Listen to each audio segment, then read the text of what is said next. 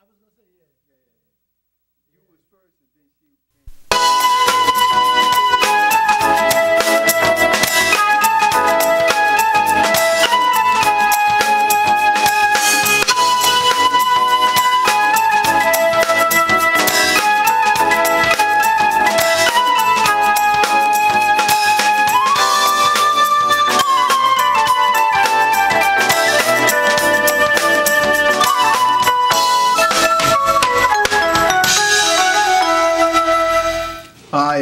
welcome to the show.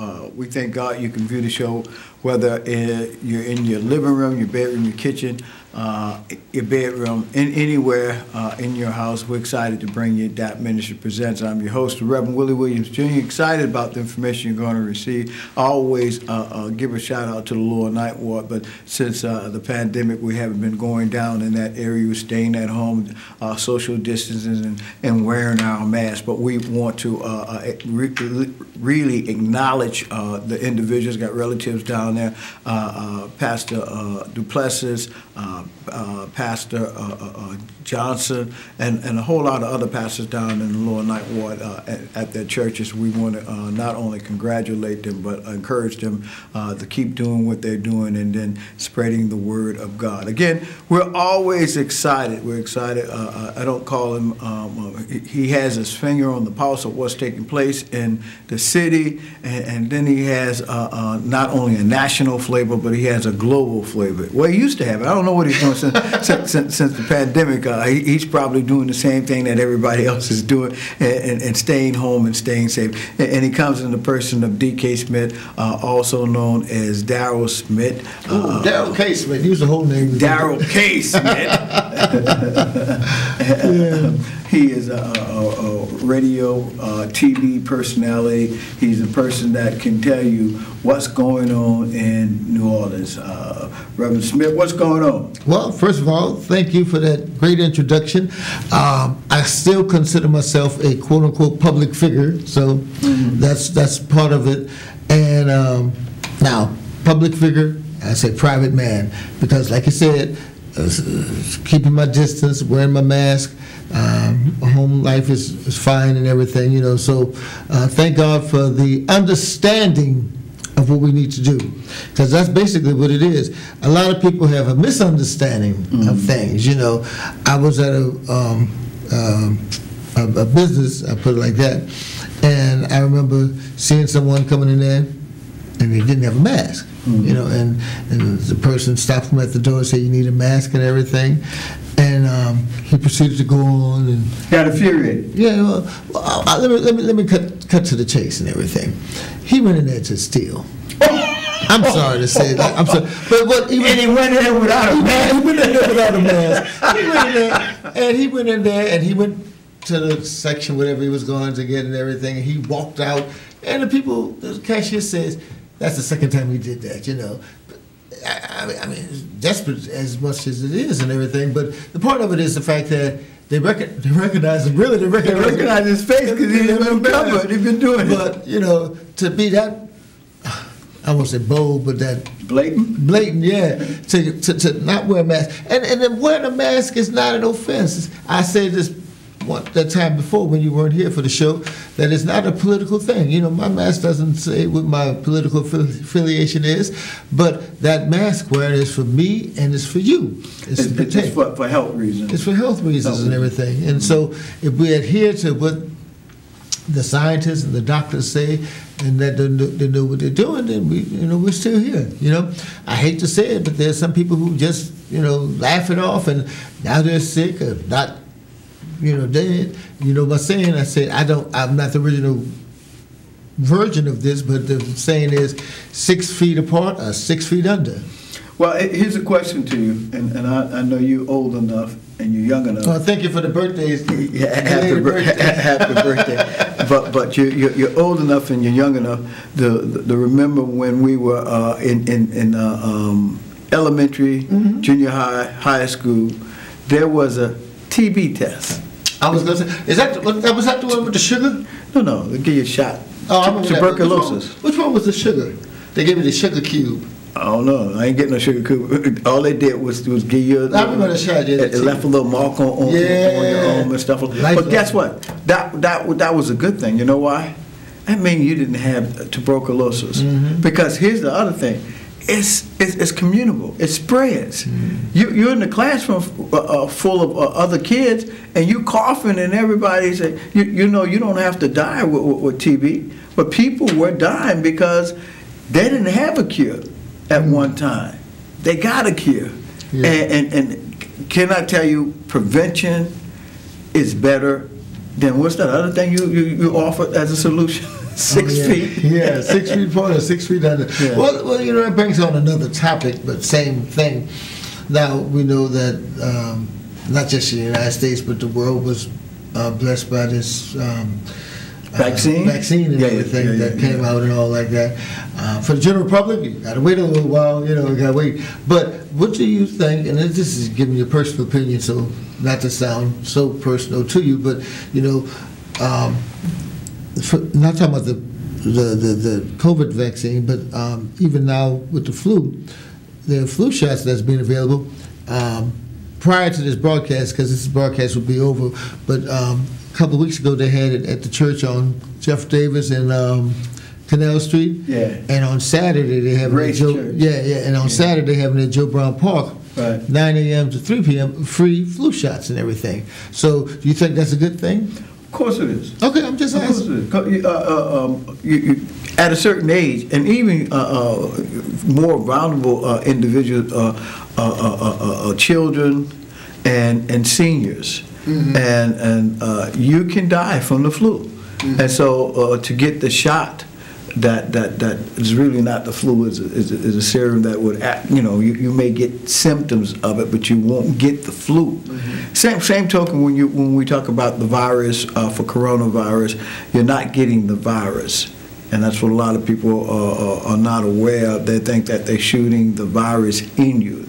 And and that's why you know and, and, and look historically um, in the African American community uh, there have been some mistreatment and abuse of, of African Americans in, in, in uh, different uh, health studies and, and disparities. And um, yes people can be somewhat uh, um, uh, distrustful of, of, of the medical system because of the way the medical system has treated historically uh, African Americans in the community, and, and some everybody uh, know about the Tuskegee. Uh, I was thinking about that, Everybody yeah. know about that and familiar with it, and, and it, it was an awful thing to do. And so that's that's the, the thing that, that, that a lot of people they're asking the questions now uh, that the vaccine is out when it's available uh, to the public. Uh, will you be uh, willing to take it? And a lot of people say, I, I, I'm not going to take it. I'm not going to take it because of historically what has happened in, in the past. I, I don't I don't trust the, uh, the, the, the medical uh, uh, uh, you know the medical department uh, in, in, in our communities and. Um, I I think what's going to help us, uh, that, that, uh, to individuals to get the vaccine is, is seeing black doctors, uh, uh, uh, professional people, uh, uh, uh, uh, athletes, uh, actors, uh, famous people. When they do it, then it, it, it, it- it somewhat gives you more confidence and assures you that it, it's, it's the right thing to do. You know, It's the that, bring- thing to do. that brings on an interesting topic or subject as well, because, okay, vaccine is out, and another one's on the way.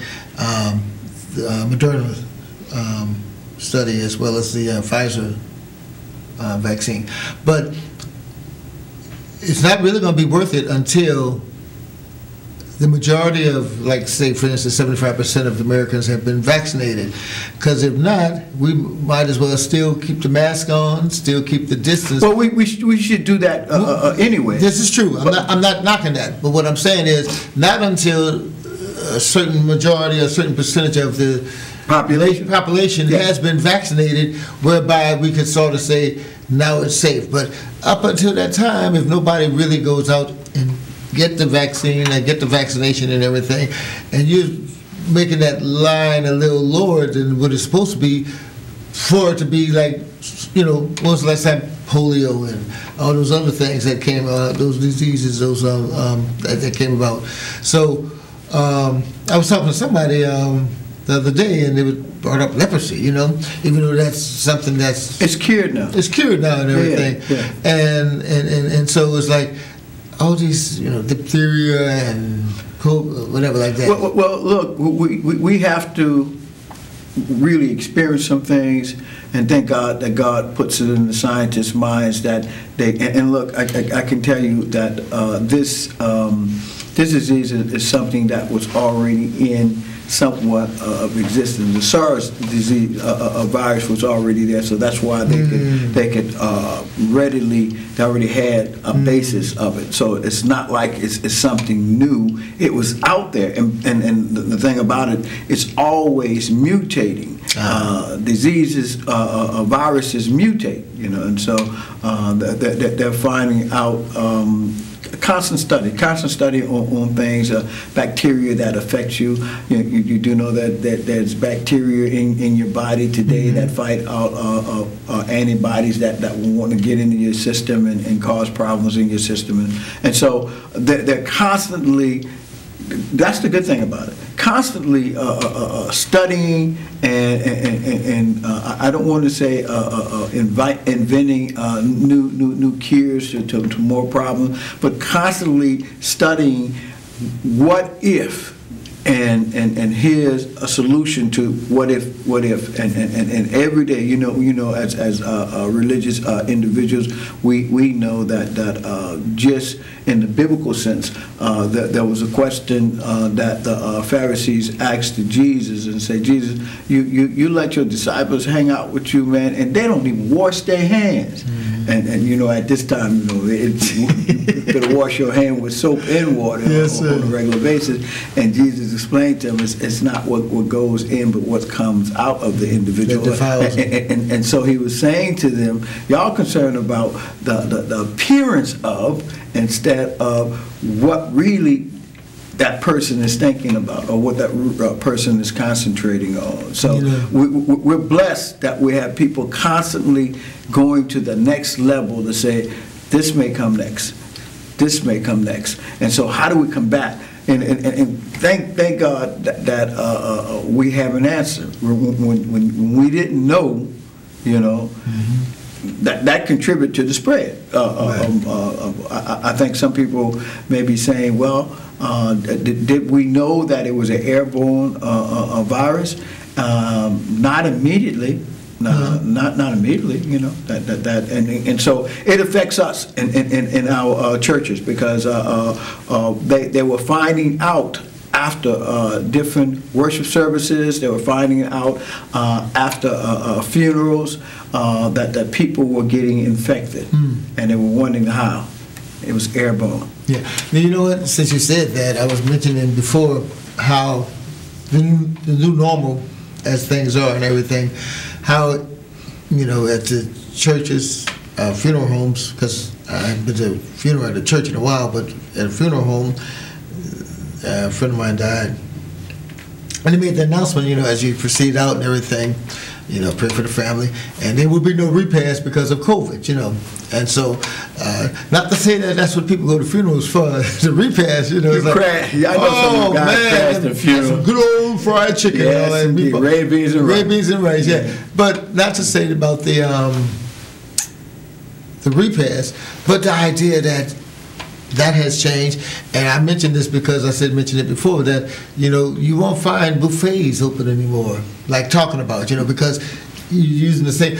I touched the utensil. Wait a minute, I got to touch the utensil behind you because not only is it airborne, but contact, touch, and everything. You know, when we come into the studio, I'm sharing some things. You know, we we're not just the studio, but any place you go, if you everything is pen, yeah. you, you, there's a place to take the clean pen, and then there's a place to put the dirty pen when we went to go vote, they gave us pens that were sanitized, you know, and everything. So I've always I've always wondered why I couldn't use my own pen. But anyway, they give you a pen. You know, I have my own pen. I have my own pen. Yeah, you know, yeah, yeah. but but just the idea that they, you know you have to. They, they, they do they do give you that option. You can use your own pen if you okay. want. Yeah, good to know. You just you just didn't you just want to use their pen and stuff. Right, like but but the point of it is, you know, that's what it is for. And so that's part of the, the new normal. Like I said, not only is it airborne, but it's contact also, contact that's there with you touching everything. So we just have to be aware, be cautious, and just